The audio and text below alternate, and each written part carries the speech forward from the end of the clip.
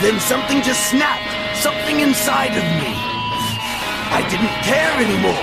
I didn't care about being better than Kakarot. I didn't care about being a Super Saiyan. I didn't care if I lived. I didn't care about anything.